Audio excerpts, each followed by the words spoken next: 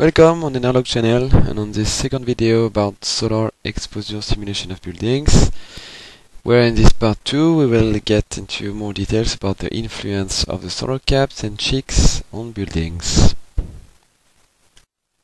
We get back to our cube still located in Paris where now we're gonna add one cap on top of the south face and also another cap uh, on the middle of it so that we'll try to reduce impact of sun in summer on the south face. Thanks to the SketchUp simulation we then calculate the sun impact from the sunrise to the sunset on the south face of the building.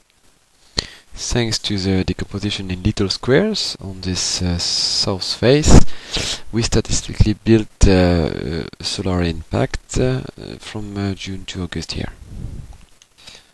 We can see here quite easily that the two caps that we have added um, make the shading extremely good for the for the south face, and it can be even better if we think about adding cheeks to it.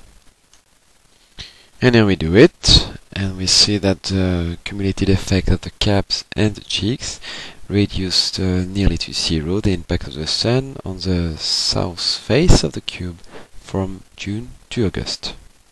In a nut, with adding simple solutions like caps and cheeks to our buildings, we went from something like 70% of solar impact during, during summer on the south face to nearly zero. And then you're gonna say, okay, but what about winter? Let's look at it. We'll see here that with only caps, it does not really affect the sun going in the south face of the cube. And if we have the caps and the cheeks, same story, we will still get a lot of sun coming in winter from January to March. The interest then of the caps for summertime is extremely good, whereas in winter it's not a problem. If you have found this video interesting, just take a look at the others on the channel and see you. Bye!